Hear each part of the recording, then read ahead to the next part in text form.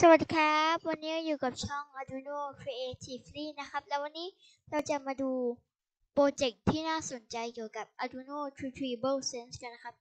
เดี๋ยวไปดูกันเลย โอเคนะครับ ตอนนี้เราก็อยู่ใน Arduino IDE นะครับ แล้วเราก็จะมาท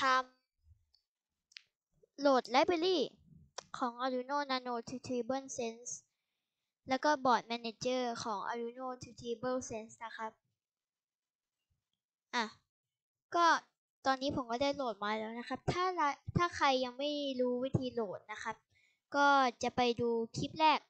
ที่ผมลงเกี่ยวกับ Arduino Nano Retrieval Sense นี้ได้นะครับ คลิปของลิงก์จะอยู่ใต้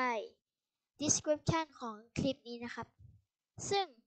library ที่เราต้องใช้ ในโปรเจกต์นี้นะครับจะเป็น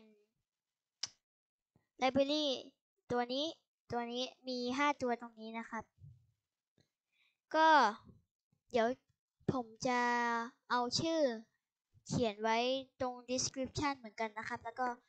เอาไปเสิร์ชใน library manager ก็คือเข้าไปใน sketch include library แล้วก็ manage library แล้วก็เสิร์ชไปเลยครับ เรามาดู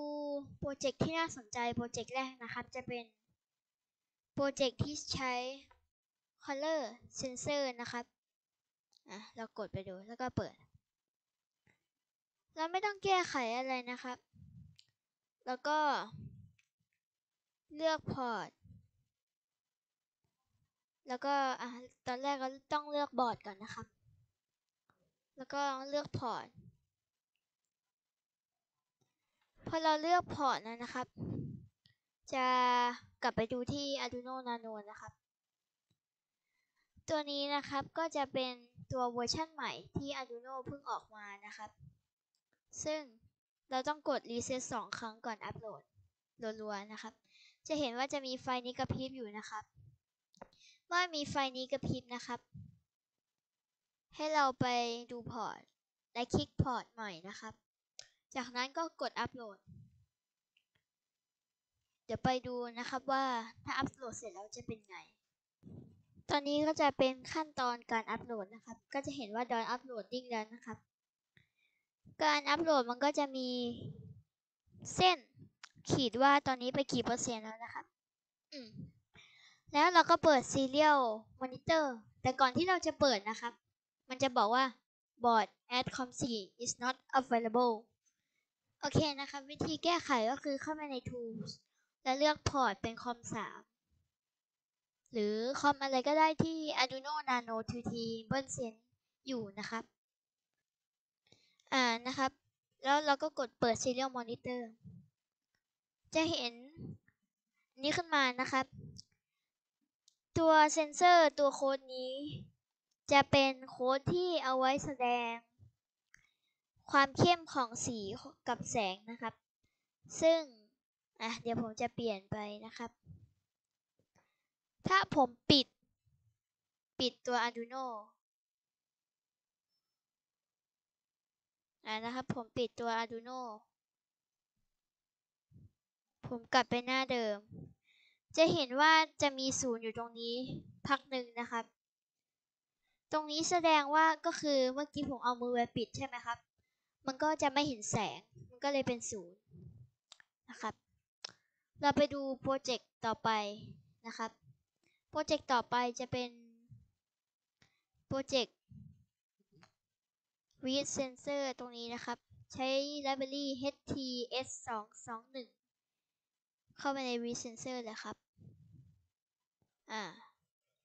อันนี้จะเป็น read humidity กับ temperature ก็คือ ความชื้นกับอุณหภูมินะครับ ซึ่งผมเคยแสดงวิธีการใช้งานมันไปแล้วในคลิปก่อน ซึ่งจะอยู่ใต้ link description ของคลิปนี้นะครับอะแล้วก็จะกดอัปโหลดนะครับ เราไปดูผลลัพธ์กันอ้อแต่ก่อนอื่นนะครับ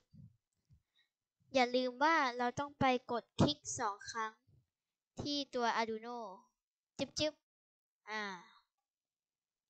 แล้วเราก็จะ กลับมา Tools และเลือก port ใหม่ แล้วก็ click upload นะครับ อ่า ก็หลังจากนี้เราไปดูผลลัพธ์กันนะครับ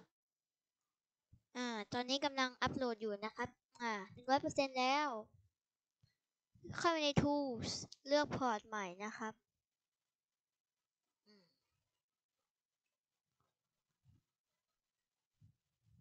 แล้วก็ไปดูใน serial monitor จะเห็นว่า จะเป็นอุณหภูมินะครับ ตอนนี้อุณหภูมิบ้านเราก็ 37.7 องศานะครับ ความชื้นก็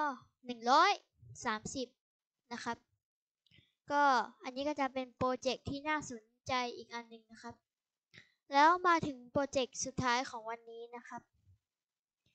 เป็นโปรเจกต์ read pressure ก็คืออ่านความดันนะครับ อ่า แล้วเราก็เข้าไปในบอร์ด คลิกสองครั้งเหมือนเดิมนะครับ ทุกครั้งเราต้องทำแบบนี้นะครับหลังจากนั้นเราก็เข้าไปใน tools และเลือก port แล้วก็คลิกอัปโหลดนะครับอืมก็เดี๋ยวเราไปดูผลลัพธ์นะครับโอเคนะครับ แล้วตอนนี้เราอยู่ในขั้นตอนการอัปโหลดดิ้งนะครับ ก็มา แล้วก็หนึ่งร้อยเปอร์เซ็นเรียบร้อยแล้วนะครับ แล้วเราก็เข้าไปใน tools และเลือก port นะครับ จะเห็นมี pressure อันนี้คือค่าความดันนะครับ ที่เซนเซอร์ใน Arduino Nano Tunable Sense อ่านได้นะครับนี่จะเป็นความดันในอากาศที่เราอยู่ณปัจจุบันตอนนี้นะครับ ณที่นี้นะครับ อ่า ก็ สำหรับครั้งนี้นะครับผมก็ได้แสดง 3 โปรเจกต์ที่น่าสนใจสำหรับ Arduino Nano Tunable Sense ไปนะครับ ก็